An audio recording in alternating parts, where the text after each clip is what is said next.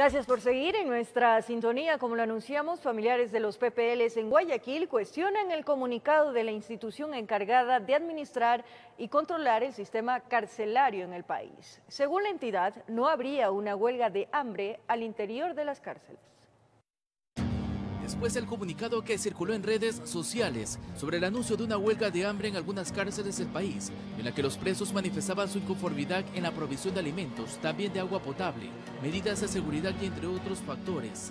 Inmediatamente aparecieron estos videos en algunas plataformas virtuales.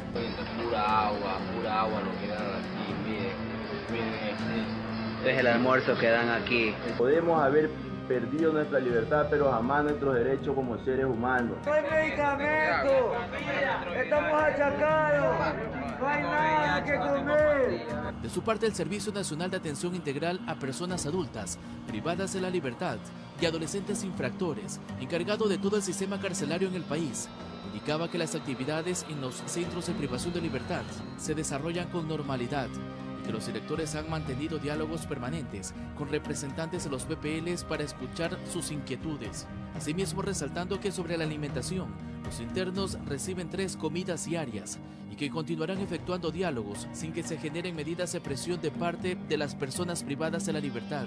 Familiares de los presos reaccionaron así en el exterior de la penitenciaría del litoral al conocer de ese comunicado. ¿Qué normalidad va a ser, señor? Como no les dan agua para que se bañen, ellos tienen esta ronchería que les sale en el cuerpo. Y no hay comida, la comida son 10, esos chicos están muriendo de hambre. Ellos pan compran, pero ellos compran una funda de pan, pero lo que es una cuatro o cinco panes vale 5 dólares.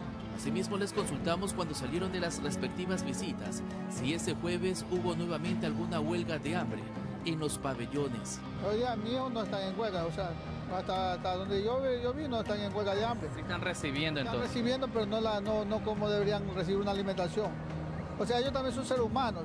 Aquí afuera le dicen a uno, le pintan todos los pavaritos de colores y adentro no sabe todo lo que están viviendo los detenidos. El tema de la alimentación es uno de los puntos a resolver y fue tratado también el pasado 13 de junio en una reunión del Consejo de Seguridad que trató la crisis carcelaria en la ciudad de Guayaquil, en la que también intervino el presidente de la República. El segundo tema es el que tiene que ver con la seguridad física de ellos mismos. Además, eh, cómo se va a mejorar la alimentación de las personas en estado Informó Charlie Piz.